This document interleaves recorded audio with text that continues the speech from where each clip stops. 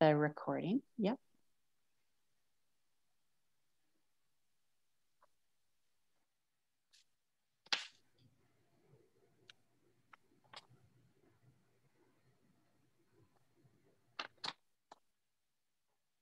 Hello and welcome. My name is Carol Carter, and I'm the founder and CEO of GlobalMindED. We are all about creating a capable, diverse talent pipeline to get more women, uh, leaders of color, uh, all different ways that you can define diversity is how we define it into the education, economic mobility, and leadership pipeline. We do this in a number of ways, one of which is we have an annual conference.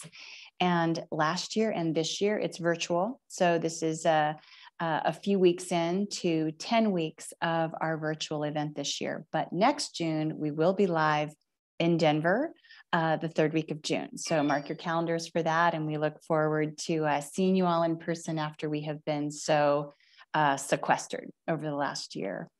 So the theme of our um, event this year is reboot resilience colon rebound remarkable and this is the reboot team and they're incredible and it's my um, great pleasure to introduce Dwana Franklin Davis. She's the Chief Executive Officer and the CEO of Reboot Representation. She's a collaborative and compelling visionary leading the tech coalition's uh, pooled philanthropic investments that enable Black, Latina, and Native American women to graduate with computing degrees by 2025 and lessens the diversity gap in tech overall. A lifelong technologist with a passion for increasing diversity, equity, and inclusion in the tech sector, Dwana joined Reboot Representation in 2019 after working in IT, software engineering, and leadership positions for MasterCard, May department store companies, and IBM. Based in New York City, Dwana holds a BS in management from Purdue University an MS in Information Management from Washington University in St. Louis, and a certificate in Project Management from Washington University in St. Louis. So we are delighted to have her incredibly talented and diverse panelists here and very much looking forward to this session. Dwana and everyone, welcome. Thank you. And thank you so much for that introduction. We are excited to be here. Um, the theme, as you said, about the conference is something that flows with Reboot and is something that's near and dear to my heart and to the hearts of the other ladies on the panel. Um, I want to talk a little bit about Reboot and why we exist. And then I'm going to introduce the rest of our, our panelists and give a snippet of what um, our partnership looks like, and then allow them to dive more in detail with regards to the amazing work that they're doing. Um, so Reboot Representation was born on the heels of a report that was produced um, in, an, in an effort to find out what organizations were doing with their philanthropic dollars. And a survey was done of 32 major tech companies representing 500 billion in revenue and about 500 million in philanthropic giving and those organizations were spending about 5% of their money on women in tech and less than 0.1%, which equals 335,000 annually on women of color in tech. That's it. So that coupled with the fact that yes, the pipeline really was shrinking. And when we looked at the public data um, of Black, Latina, Native American women graduating with computing degrees um, from 2017 those women represented 4% of the graduating um, population in computing. And that number was not projected to double to 8% until the year 2052 without interventions. So for all of those reasons, Reboot exists. So we are a collective, we're a coalition of amazing tech companies that have come together and said, yes, this is something that we value and is important to us. Um, I like to say they put their money where their mouth is and they've invested um, to be part of the coalition because they know that it's the power of the collective that's really going to make systemic change and move that needle forward for women of color and tech. Um, as we we look to partner and invest, um, we, the Reboot team, um, partners with other nonprofit organizations that um, have programs to recruit and retain women of color um, into computing and see them through to graduation. Um, and they can go on to be part of our amazing tech companies. They can go on to higher education and get masters and PhDs. They can become entrepreneurs, but these women are going to be set up for success to be the future leaders of, of these organizations as well as in their community and have the opportunity to um, have those the, the jobs of the future that will help them um, with with the wealth and gap as well as be part of what's next. Um, so without further ado, let me introduce our amazing panelists. I'm going to start with uh, Carina Weyer.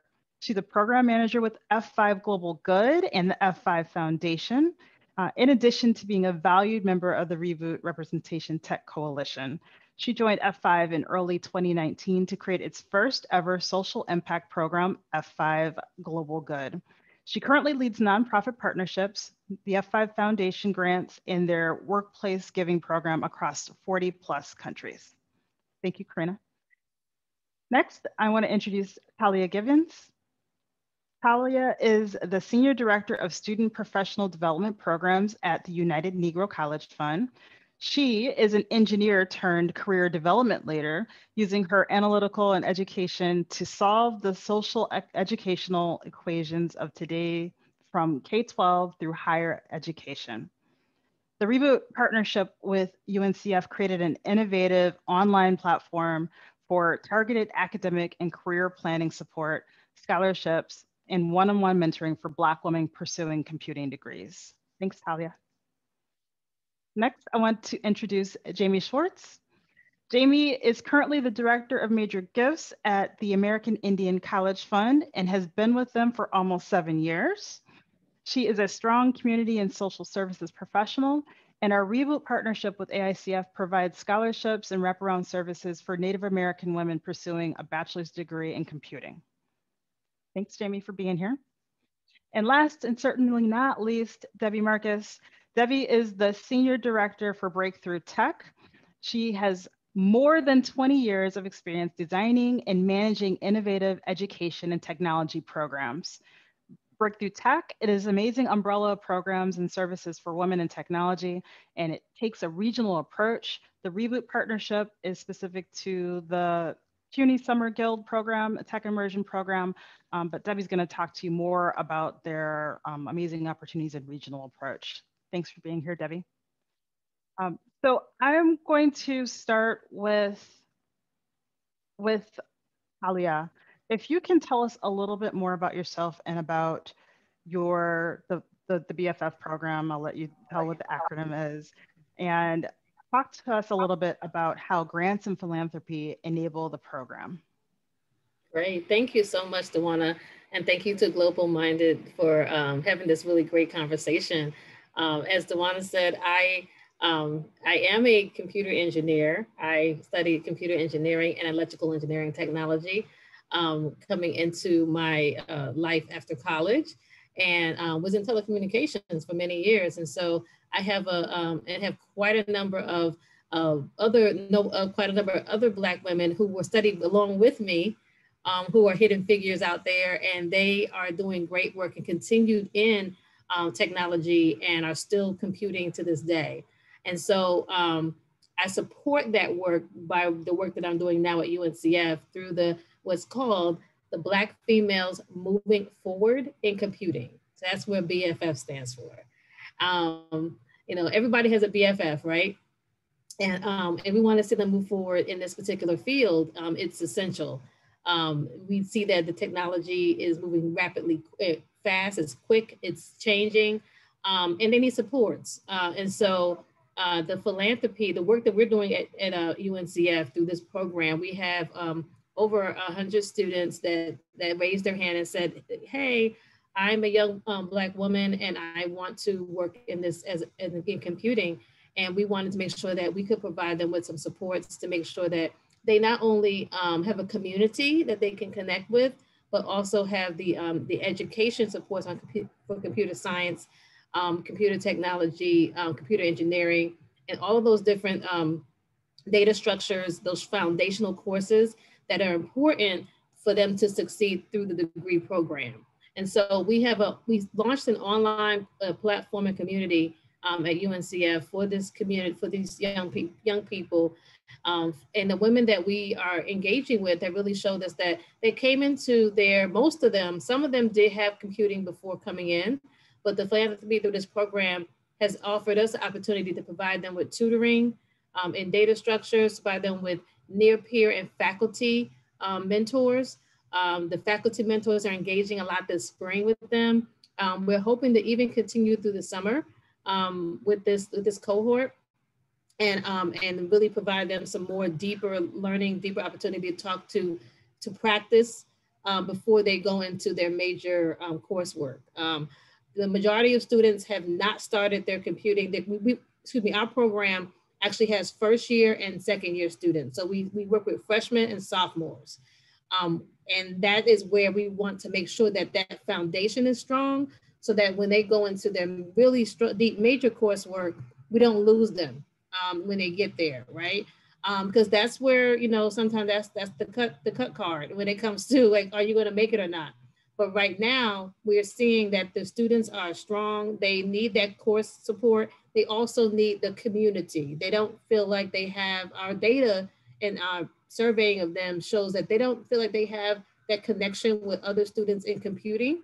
And so being able to talk with students and learn about and learn and have a community that they can connect with um, definitely provides the support that they need. Thank you, Taliah, for that. Um, we're, we're so excited for these amazing young women and, and to watch their progress. So stay tuned. Um, yes. Next, Jamie, can you give us a little more information about um, our partnership and program with ASCF as well as yourself? Thank you. Sure. Thank you, Dwana, and thank you, Carol, for having us here today. Um, so again, I'm Jamie Schwartz. I work with the American Indian College Fund.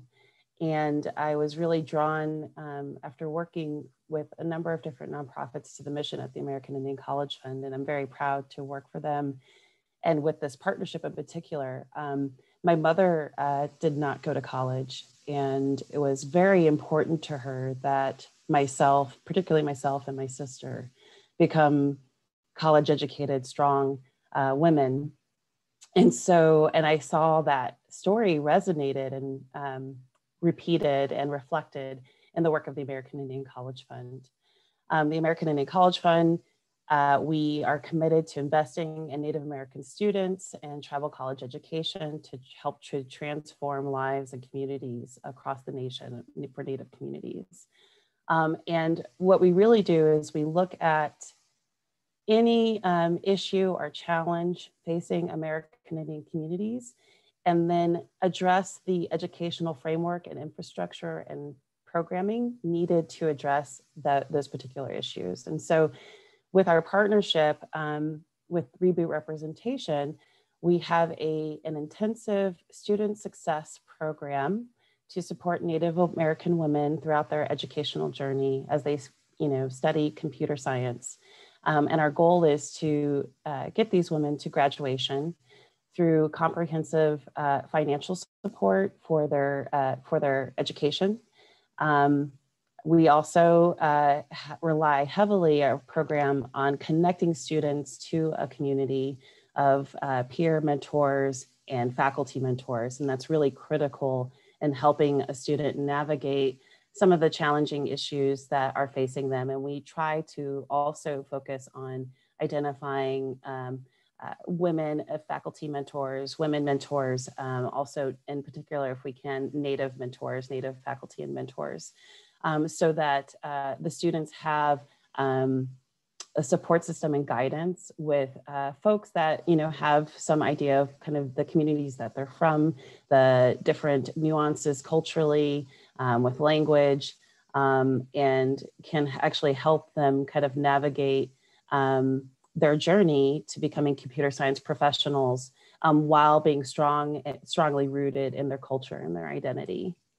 Um, we offer also try to connect the women to a variety of different career experiences, um, which um, the uh, team at Reboot has been so amazing um, in uh, providing opportunities for the students to um, to you know hone their resume better develop their resume, develop other skills and, and tools that they need to have in order to, um, to emerge from college an employable graduate.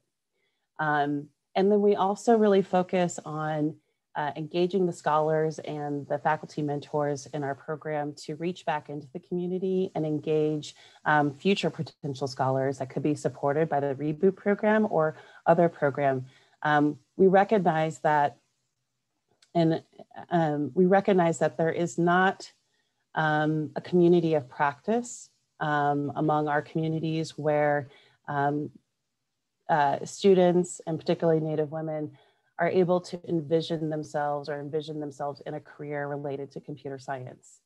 Um, but yet there's a, there is a need and we um, really want to leverage um, the student experiences, um, the students supported by this program to actually inspire others in their community to also explore um, the computer science field.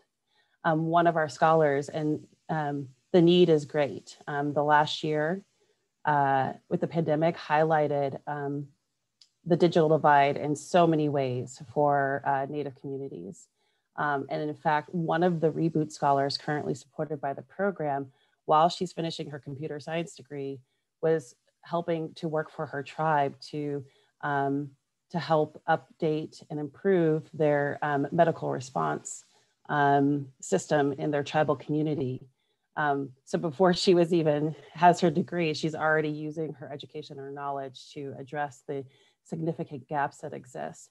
And so this program is so important um, to for Native communities because the need for leaders with computer science knowledge and understanding is significant. And um, the last year really highlighted that need. Thank you, Jamie. Uh, Debbie, please tell us a little bit more about yourself and about Break Through Tech. Um, maybe a little bit about Get Cities if you want. And then um, if you want to talk about um, how philanthropy enables um, the programs to be successful. Yeah, uh, thank you so much for having me, Dwana and Carol. I'm Debbie Marcus. I'm the Senior Director of Break Through Tech.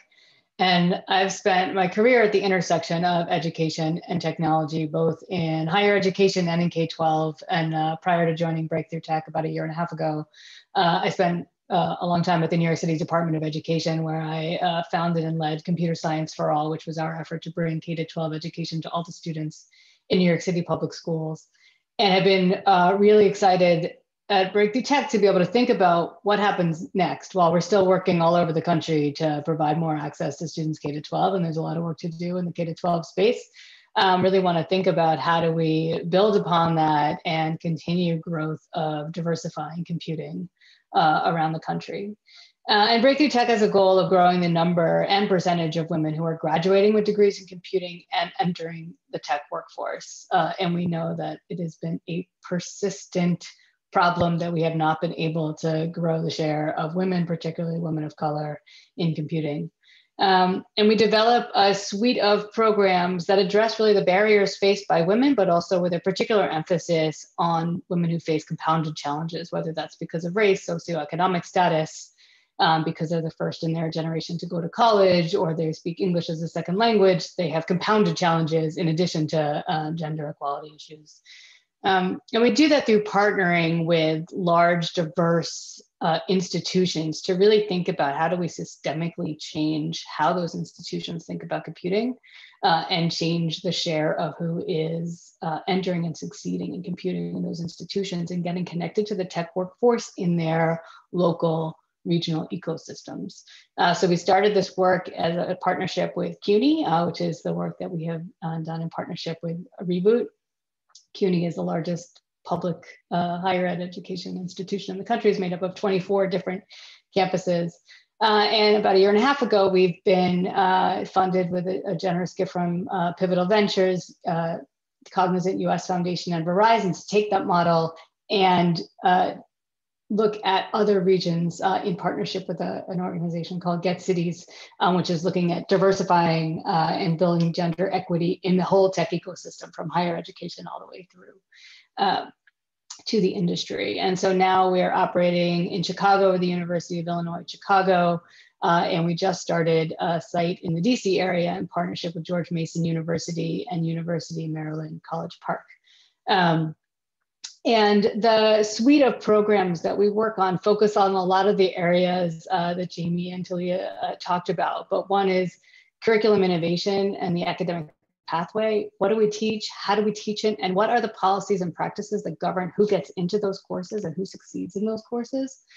Uh, as well as uh, thinking about career access. How do we make sure that our students are prepared to get jobs and have the experience and resume credentials needed to get internships and jobs. Uh, one of the things we found when we started this work focusing on trying to get students internships, realizing that our students, when we paired them with companies who said they wanted to diversify who they were hiring as interns, uh, they still weren't getting, we gave them resumes of students in computing from CUNY schools. They still weren't getting interviews or getting the internship. So we started a program called the Sprint Internship, which is a micro internship program. It's a three week collaborative team internship project that is a lighter lift for companies. So it's less of an investment than a full paid internship, but gives students a resume credential and gives students the confidence and belief that this is something that they want to do and that they can do. Um, so thinking about the barriers, putting shining a spotlight on them, and then creating some programs uh, to address them. And then finally, I think uh, Taliah mentioned the the feeling that you belong in the community uh, that we can create among women in computing, both their peers at the institutions that they're in, as well as connecting to women in the industry, uh, so they can see themselves as part of a growing community of women in tech. Uh, and I think, Dwana, you asked about how does philanthropy, what role does philanthropy play in all of this? And I've been uh, thinking about like how to create real systems change at institutions that are frankly large and bureaucratic and really hard to pivot. It's hard to pivot a large university in any direction. And I think part of that is, you know, the, the programmatic support. So whether that's the staff or the stipends needed to make sure that students are paid for their time or the funds for food and space when when we all fed people and, and we're in the real world.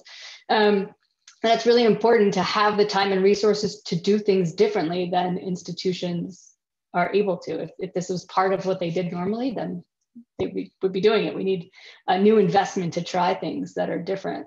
Um, but I think on top of that, uh, philanthropy helps really innovative leaders. We work with fantastic faculty and deans and provosts who want to make change. And when you have the financial investment, it's not just the programs that you can fund. It, it gives them, it emboldens them, and it gives them the political capital to, to push the change that they want to change. I think when you have leadership well and you have some examples from programmatic changes, you can start to get at the real thing that needs to change, which is mindset you can change those hearts and minds to show that this can be done and you have the political will to get there, I think we can start really uh, changing some of the persistent lack of progress that we've been seeing uh, in this space for the past couple decades. Thanks, Debbie. Carol, you can see that I, I, am honored and privileged to work with these amazing leaders, Jamie, Debbie, and Taliah, representing um, nonprofits that are, are really working to move that needle forward. And then on the, the flip side of that, um, I want to turn it to Carina because um, she's on the corporate corporate but CSR side of the house, also working to make real change. And I, I have the honor and privilege of working with her. Um, Carina's been an amazing part of the the the coalition and a thought leader with regards to how we look at our, our strategies and our investments um, I'm going to turn it over to you, Carina. Can you talk a little bit more about what is this F5 Global Good thing and um, how is F5 using philanthropy to make an impact for women and girls? Yeah, totally. And thank you all for, I'm honored to be part of part of this panel. I feel like I'm learning so much and it's so great to be connected with you all because I've heard the other side as we're going through our grant selections and all of that. So it's so great to hear it in all of your own words. Um, but F5 Global Good, I love how you say that, Dwana. What's this F5 Global Good thing? Um, so F5 Global Good is essentially kind of the social impact arm of F5 Networks. Um, we're in three countries, a technology company based in Seattle, but in 43 countries, about 6,000 employees. Um, and I kind of like to call it the social impact arm because when we call it a social impact program, it kind of feels like it's very silo, right? Like here's the program, here's the company, but we're really trying to ingrain all of our social impact efforts across the board. Um, we, our, our Global Good program is only gosh, probably a year and a half old. We actually joined Reboot before we were actually a formal program. Um, that's how excited about it we were and how convinced by all of the research that is you really can't argue with. Um, but um, F5 Global Good kind of encompasses our workplace giving, our nonprofit partnerships, volunteerism, and grant making. So that's kind of the grant making is kind of what I'll speak specifically. Um, we have three core focuses um, kind of on our philanthropy side. Um, one, community development. Um, two, tech for good. So looking at kind of bridging that digital divide for nonprofits because we know it's a, a massively under underinvested and underfunded area. And COVID has totally exacerbated that. Um, and then STEM education, specifically um, with the, the ones of women and girls of color. So, uh, like I said, we're a founding member of, of Reboot Representation. And I think what's, you know, kind of the, the way in which we're making an impact and kind of what's core to our grant making and, and our program um, overall, our grant making program, um, is, you know, the commitment of, of Reboot to women and girls of color in STEM we we essentially do that same thing with our own grant making. We didn't kind of want that to be a commitment that we just do with Reboot, but that's something that wholeheartedly um, we're committed to, even within our own grants. Um, and I think what's you know kind of unique with that, and there's so much research. I mean, the Reboot report tells. I mean, you just can't argue it. Like I said, it's it's so convincing. Um, having the explicit gender and racial lens on our grant making is so huge. Um, so all of our grants um, have to have at least 50% women and girls of color being reached, so direct beneficiaries. Um, I would say 50% is the minimum, but we're always, you know, we lean obviously on programs that are reaching that much more. We do one application, one application window open that's once a year. All organizations have to apply. And What's really great about that is it gives us the ability to really look at apples to apples, which organizations are going to be most impactful, which ones really align with the work that wanting to fund and support. Um, it also helps get away from maybe executive pet projects or legacy you know, partnerships and stuff like that, um, that I think a lot of companies um, can sometimes struggle with. Um, also with our grant making, we fund multiple entry points. And this is um, there's just so much more research that's coming out about that. But I think that's a really cool piece because we know males enter specifically STEM, the kind of the technology um, education journey, much earlier. Um, and for women, it's so, it, it really can be scattered. Um, so we fund multiple different entry points. But more recently, we're really looking at that higher education because we know that that's a really critical time. Um, that can be really impactful um, in that in that career and that journey. And then also partnerships. I mean, Reboot is a perfect example of if we pool resource, resources together with other companies that have the same focus, we can be so much more impactful. And I will say we are not the experts in this just yet. You know, sometimes we go through on our reboot meetings of who's funding what, and we're seeing we're all doing.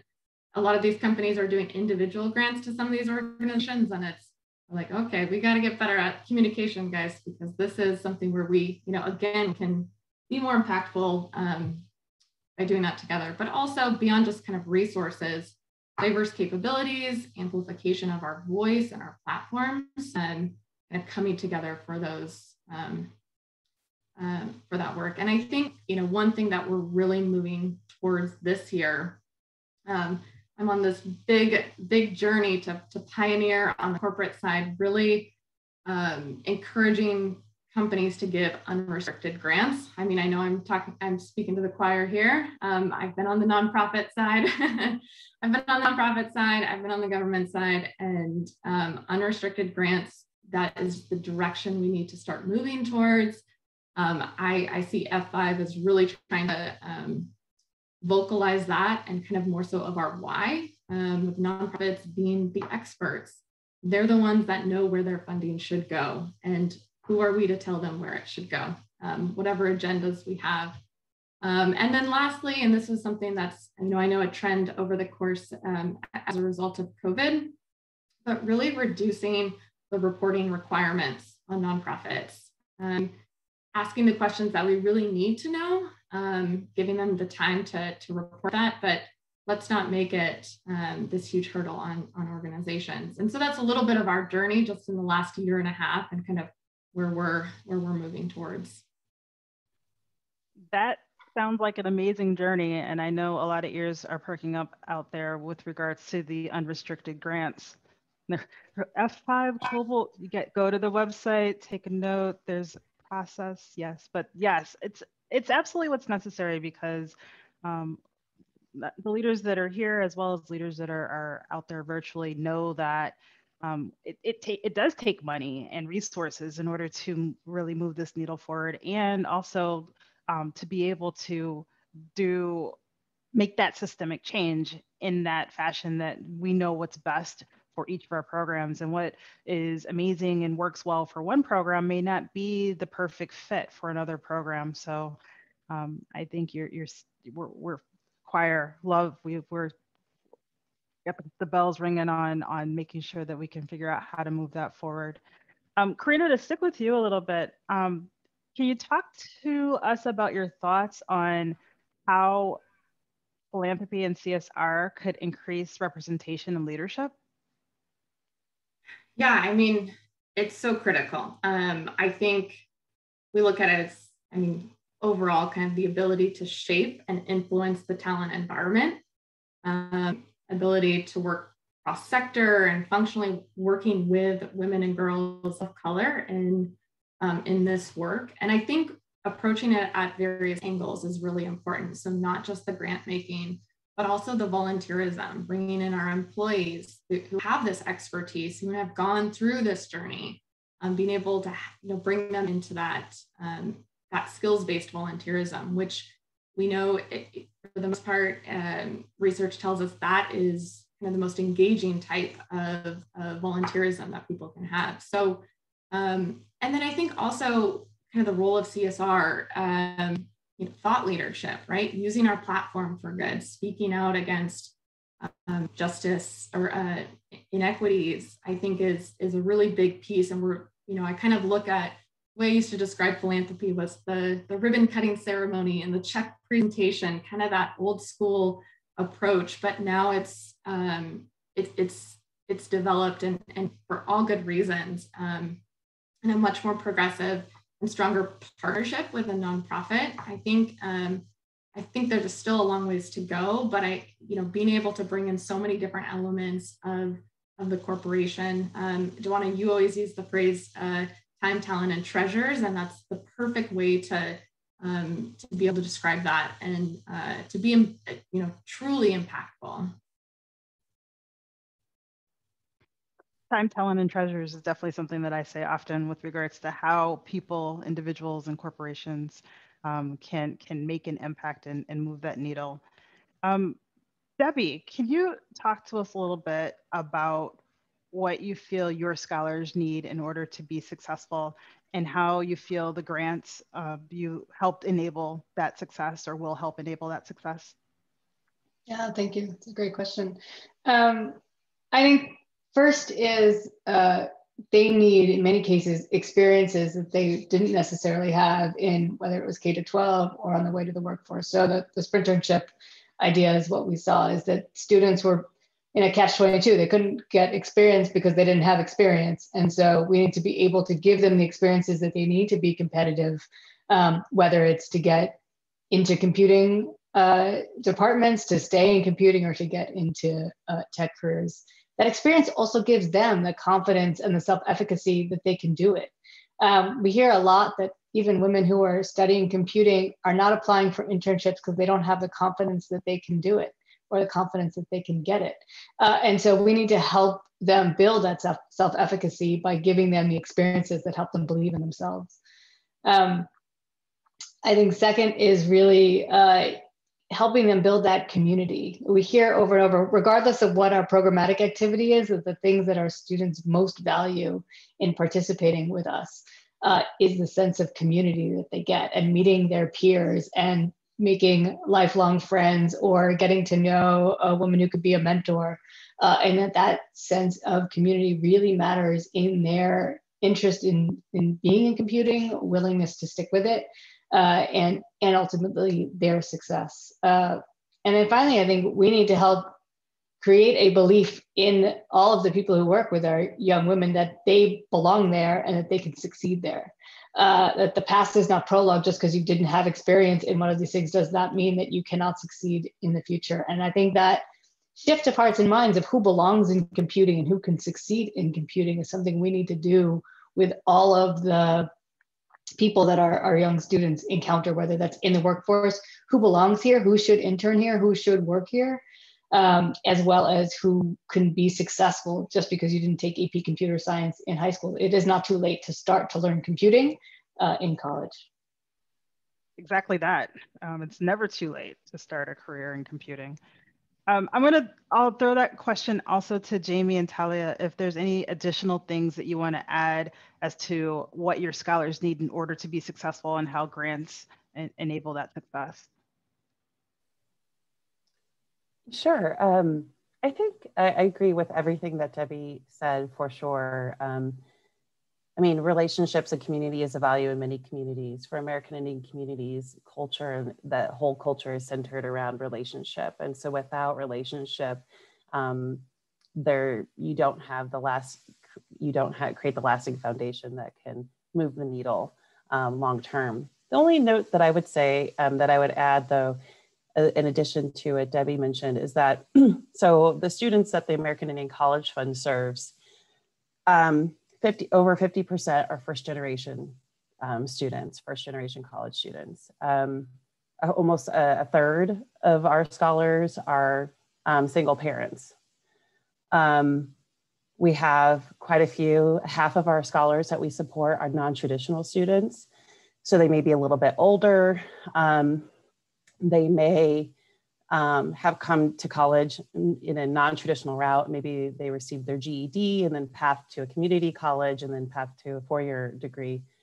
So I would just note that, you know, experiences are really important like internships, but also considering that our traditional internship, um, traditional internship programs don't serve a wide a berth of students, right? And if we're gonna change, um, move the needle for women and girls in, in, in STEM and computer science, I think we need to think about our um, what we offer, our experiencing, our recruiting, and look at um, you know maybe exploring how do you engage non-traditional students, like not your you know 18 year old like what about the single mom who's going back to college who could still do could could move the needle in their community and serve use the the knowledge and skills that they're gaining to do that and the current structures, both within higher education and within um, the employment sector, um, do not really accommodate that. So a single mom can't pick up and move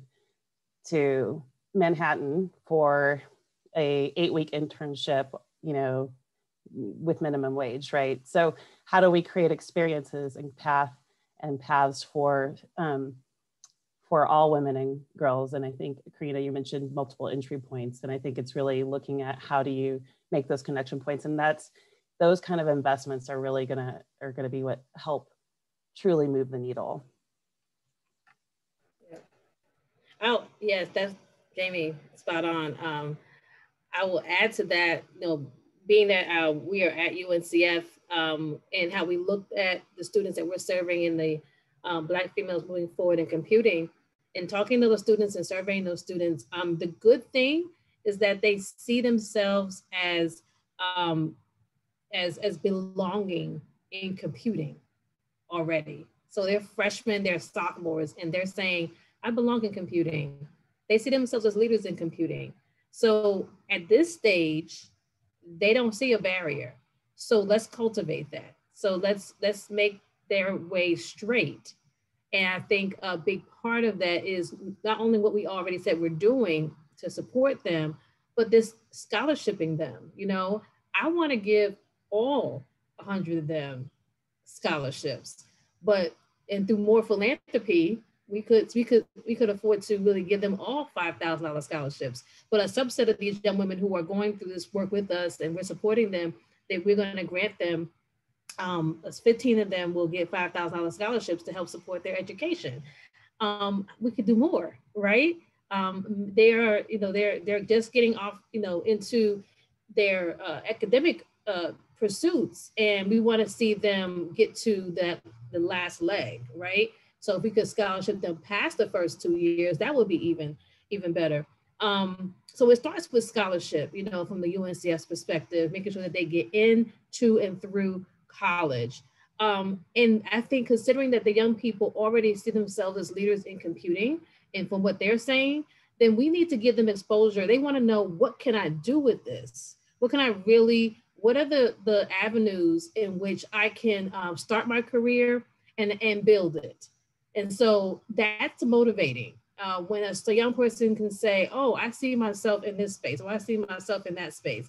Um, I feel like that was something that was missing from, you know, my undergraduate experience when I was, you know, going through in that I had really good internships, but as seeing myself in the long term of where I could go um, with my um, degree, I think was one thing that was kind of missing. I got a good launch, but not that good long, the long, playing the long game, right? Um, because we want women to stay in, in, the field when they when they when they start, right? So um, I think that the career exposure, and we're going to be doing work with our students over the course of their time with us to with, with partnership with Reboot and all the partners that are in the Reboot uh, family um, to begin to do webinars around who are women in, in this field, where are they working, what do the companies look like, what is the culture there, where can you start, where can you grow? Um, and they want to see that, and they need to see that now as freshmen and sophomores in college. Um, the other thing I think we can do with philanthropy can support us in is supporting faculty and and um, and graduate students to serve as, as near peer mentors and, and advisors um, in the in the college setting. Um, the students said that uh, the first year students are more likely to see their advisor, the academic advisor, as their mentor. So we got to really uh, work it with the colleges to advise and know what these career pathways are, what the, the course, what the courses are that they need to actually um, come out with the skills that companies are, are wanting um, but then we also need to have support some of our graduate students who are getting graduate degrees in this level because they can serve back as mentors as well, as well as the industry mentors. Not definitely know we need the industry face and students to see themselves in the industry, but I think there's something that can happen at the college level. Uh, and we're, as a part of our program, we have faculty, uh, African American computer science faculty um, we need more, would like to have more. So again, being able to provide them with stipends so that they can um, do this extra work beyond their regular coursework with students who, and again, these are students across the country. They're all at different institutions. And so we are creating a community where it doesn't matter what school you go to, but this faculty person who looks like you, understands where you're coming from, can serve and help support you in your courses. So we want to do more of that and be able to provide that. So philanthropy can definitely help um, in growing that type of um, environment and supports for so students. So I so I say scholarships, I say the career exposure and pathways, um, internships, and then also near peer and um, faculty mentoring and so and financially supporting that as well. See everybody's heads nodding. Um, you you touched on one thing. And there's a question in uh, the the chat that I, will just grab real quick from Tyrone. He says, what impact do you see employee resource groups playing in volunteer opportunities as it relates to representation and closing the gaps? Um, I'll just speak to it real quick from the reboot standpoint, and you guys all jo join in if you have additional things. Um, but uh, we see ERGs as extremely important um, on for two different reasons. One, um, from the standpoint of the students, they, especially students of color, um, they need to see people in industry that look like them, that that are successful, that can give them guidance, and they can feel safe and comfortable asking their questions too. Um, with Reboot, we're in the process of setting up a mentoring program um, with all of our, our scholar programs, um, as well as all the um, employee resource group members to be able to opt into. Um, so dot, dot, dot, stay tuned. Um, and then I think also from the company standpoint, um, not that they should do this philanthropy thing because um, because of the the, moral aspects. That's most certainly, but they all want to know what's in it for me as well. And so employee engagement is a huge opportunity for um, the companies to not just put their money uh, behind something, but to have that sense of pride um, for their employees to, to be involved and work for a company that's passionate about the things that they're passionate about um, and be able to um, evolve that company culture and make that place a, a great place to work. Um, what else do you want to add about ERGs and, and opportunities, ladies? I would I would just add, um, I think ERGs are so important and really kind of a critical piece for that co-creation in partnership with how we're designing from the onboarding perspective to the employee engagement survey, how we're disaggregating that data, how we're really um, addressing those those most marginalized and those kind of fringe cases. So we're really because that's where diversity lies is those fringe cases, and I think that that's the biggest piece in in having that partnership that's really employee owned and driven in partnership with the corporation. So I think they're they're such a critical piece, but I also there is such a balance of the responsibility not falling all on them, right?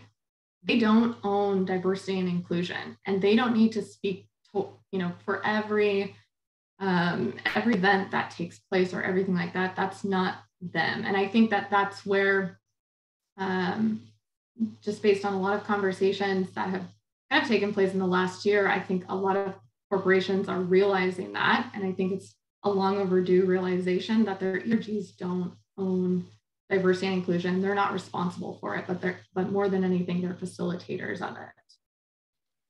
Great points. Um, let's segue a little bit I want to know a little bit more um, from the perspective of um, our scholars. What do you think organizations should do to ensure that the, the company, the corporate space is ready to support women from these programs to enter the workforce? One thing that I've often said is we're working hard to build this pipeline and it doesn't do any good if the companies are not ready to receive and retain them. So what I'll start with uh, Jamie. What do you think that corporations can do? Oh, I mean, I think it's, you know, we've touched on this theme a lot. I think it's creating the relationships, um, you know, within your corporate structure to help guide and navigate. I think, I know, um, mentorship opportunities within the company as you bring someone new on to actually um, help them uh, navigate the organizational culture and also show how they might be able to contribute or even change the organizational culture um, uh, to continue the pipeline. So I think that's really, really important. Um, and you know, part of that is really listening and hearing, listening and hearing what uh, the scholars and future employees are really saying.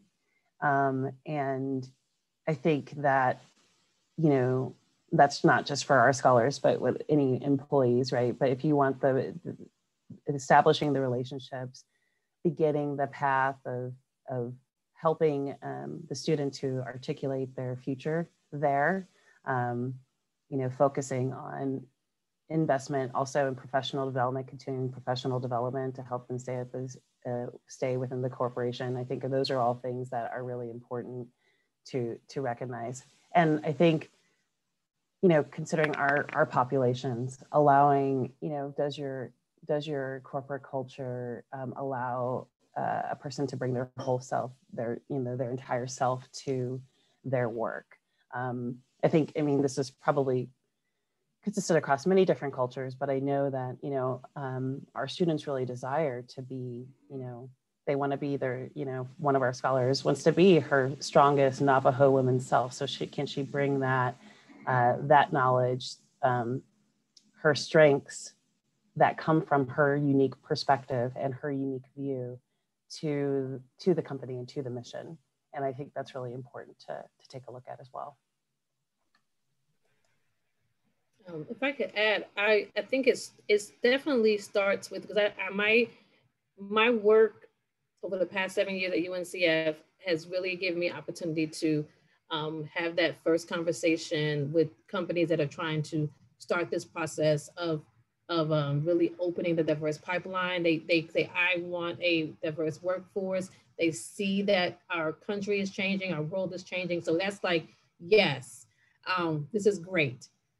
What I find is that the companies that are really successful in this work have taken the time to um, do that introspection on what in our company culture, how is my organization doing right now? Really honestly assessing um, my retention of people of color, people of diverse backgrounds, people, women. And, um, and when they have done that work, they come to the table with real goals. They know their numbers.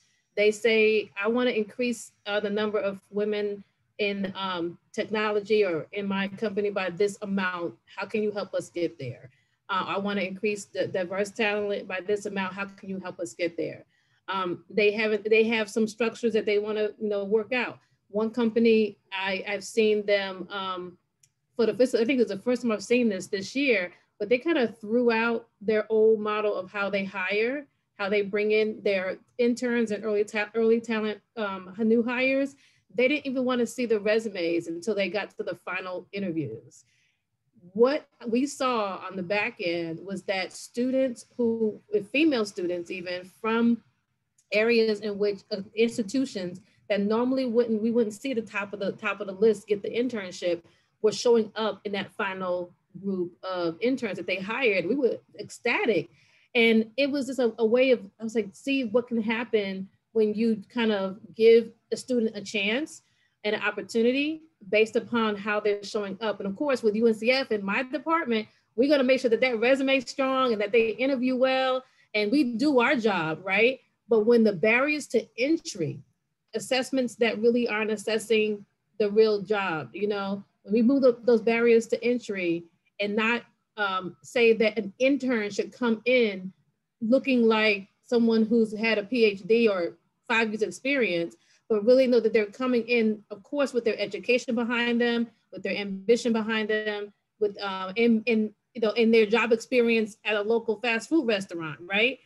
But they're in college and they want to they want to have opportunities. So when they're they're getting that given that opportunity to learn, we are you can see the you can see the pipeline shifting. You can see the pipeline opening up, you know, and we're giving them uh, opportunity. And as Debbie said earlier, when a company has the position description and you're giving the resumes and you're not seeing them get the job and you're wondering what's going on well there's some work i think that has to happen on the industry side to really unpack what they're really looking for especially from the college to career um, group that we are all supporting um, in our work because um, there's a disconnect and we can't articulate to the company this is this is what you want but they have to maybe think about it a little differently, open up their um, the, the, the language ideas of what is the real uh, entry level responsibilities and work so that they're not missing out on great talent because they're not, they're not getting, getting the match.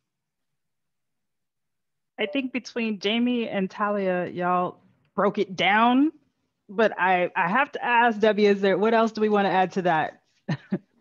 uh, I mean, I think that they've hit on uh, I think most of all or all of the key the key things that need to happen. Uh, and and maybe just one other to add to that, um, which is uh, that the reason we want diversity in industry is because we know that diverse teams bring innovative new ideas and can get things done in better ways than homogenous teams. Um, but companies have to also be willing to hear new ideas and new thought and be open to new ways of doing things uh, if you're going to bring in a new and more diverse uh, talent pipeline. So I think that's just the only other thing that I would add to what um, and Jamie said. In my seat, I have a great lens into what's happening with our corporate partners. We meet with them with regular one-on-ones and a lens into what's happening with amazing nonprofit organizations like the ones the ladies here represent. Um, Carina, can you share a little bit about some of the, the great work that F5 is doing um, to, to prepare the workplace to be more diverse and inclusive for the future leaders that we're fostering and developing? Yeah, and I know that we're kind of close on time, so I don't want to go into into too much detail, but I think you know the a really powerful uh, opportunity um, that I hope that you know will continue to kind of make a, a standing um, standing event or whatnot. But we actually have our um, senior leadership team um, offsite, which is virtual this year, of course, um, next week, and we thought it would be a really great opportunity to bring in one of our nonprofit partners and really kind of the whole conversation. And this is all senior leaders, so vice president and above um, at our company. And uh, the conversation we're going to have is around uh, kind of that inclusion for people of color um, within the walls of F5, but hearing from one of our nonprofit partners in what they're doing to kind of prepare their students, prepare their scholars based on what they're hearing from their corporate partners. You know, this is what we're doing to um, support diversity inclusion, support diversity inclusion, but um, you know, build an inclusive workforce, but also with the lens of what their scholars are really telling them. You know, I think a, a great example was, um, and this partner is uh, called Rainier Scholars. They're based here in Seattle. Um, it's a 12-year intensive um, education program, and you know these kid kids they graduate college and they enter the workforce and you know maybe they're black. And immediately they're asked to hey what should we incorporate into our communication around george floyd's death? You know that was you know one example that they gave. And this you know 21 year old is like oh my gosh what am i supposed to say you know again i think it's what i was kind of talking about earlier of how these RGs don't own diversity and inclusion and that's the responsibility of the company but this conversation we're having next week is with our nonprofit partner, kind of what they're doing to uh, prepare their scholars for the workforce, and then also hearing from students who have gone through the process, recent um, early career students, or excuse me, um, employees, and then also for our senior leadership team to be able to share some of the best practices. Um, and we specifically called out um, senior leaders that have great retention stats of people of color, um, good diverse teams, um, uh, uh, strong belonging scores or employee engagement scores, um, survey, excuse me. So I think that that's kind of an exciting piece to be able to bring in a nonprofit partner, the voices of the scholars who've gone through it, who are early in their career, um, and kind of that best practice sharing um, in kind of a, probably a really vulnerable setting. Um, and then similar to that, we're also um, hosting a session that Dwana is going to be a speaker on. It's called Real Talk Blacks in Tech. It's on June 17th. Um, we're starting the registration next week, but really the whole conversation around it is so, you know, these are all leaders that identify as Black. Um, the question is, how did they create that change? But now, how are they holding the door open for that change to um, to continue on within their teams and within their organizations. And again, it's just all of this vulnerable and best practice sharing um, across industries, across sectors. Um, and I think that um, a lot of this has uh, become more of a priority over the last year, and it's, it's, it's exciting, and I hope it doesn't go away. I think we can go on and on about and, and share more about our, our each of our experiences on how we are making change and moving the needle forward. Um, working with the coalition companies as well as our grantee partners continues to give me hope and inspiration that the future of tech will be more equitable, more diverse, and more inclusive. Um, Carol, I'm going to hand it back over to you because we're unfortunately out of time.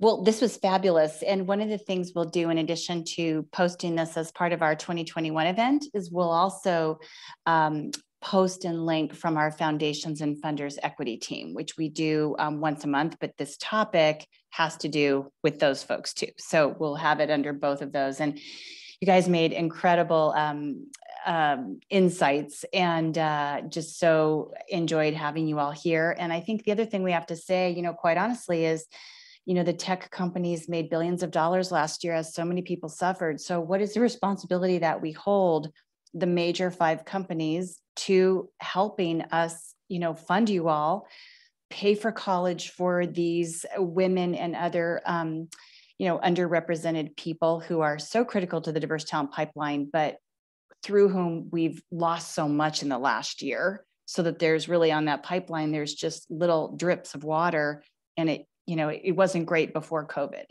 So i think um, in all of these things we have to be able to say where are the places where we can go to some of those places of power places of monetary influence and um, and get the support for the incredible things you all are doing so that you're reaching we're, we're able to reach everybody out there and their families and those different um, you know single parents and other people that are part of the part of that pipeline chain. So thanks to you all so much. It's been incredible spending the time with you all. And i think what we should do is we should look at the calendars for august or september and we need to do that other session that was brought up on how can funders uh, do more unrestricted funding and be able to set up their funds in a way where the people can actually do the work and they're not spending half their time reporting back on the very complicated procedures that some of the places, you know, require. So, Dwana, I'll put you in charge of organizing people for that. but uh, I think you you all are amazing, and we look forward to the GlobalMindED inclusive community supporting all of you in the work that you do. And uh, we can always communicate through each other and also through through Dwana and her team. But um, very much looking forward to also having your incredible women be part of our first gen leadership class um, this summer and also come in person next year. Maybe we can do a pre-conference or something special with your audience where other people can learn from the gains you're making with your um, incredible work for your specific audience you all are, are um, lifting up into these incredible positions. So thanks again to everybody and thanks for all of you who joined us and we'll be sure to include the link for everybody. And we'll also, we just did a student leaders speak report with every learner everywhere. So we'll include um, that report as well. And it's their advice to college presidents, CEOs, and policymakers. And they're the ones typically not at the table, but they need to be, we can't solve for them without them. So thanks again to everybody. And we look forward to working with you in more expansive ways in the future. And thanks for everything that you all have done. Take good care. Bye, Thank everybody. Thank you. Great.